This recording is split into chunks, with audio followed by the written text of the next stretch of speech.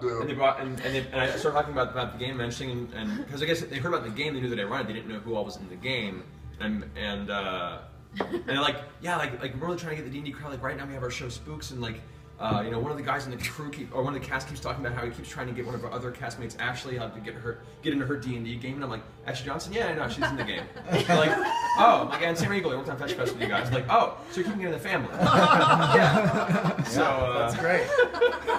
Yeah. So Holy I, shit. want to make sure you guys would be interested in that kind of a thing. Hell no. Hell Hell no. no. We would, Yeah, we would have, would we have Yeah. to change the name from the shits to something else?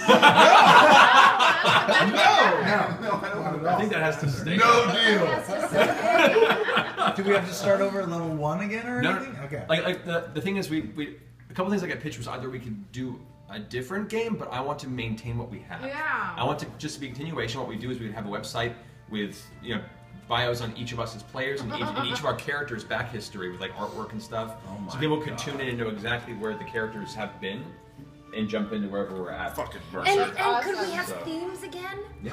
Like how we Fucking have, Mercer. how, Best thing we ever did. The best thing we ever did. Thank you, Liam, for making this all come together. Hey, that's just really close.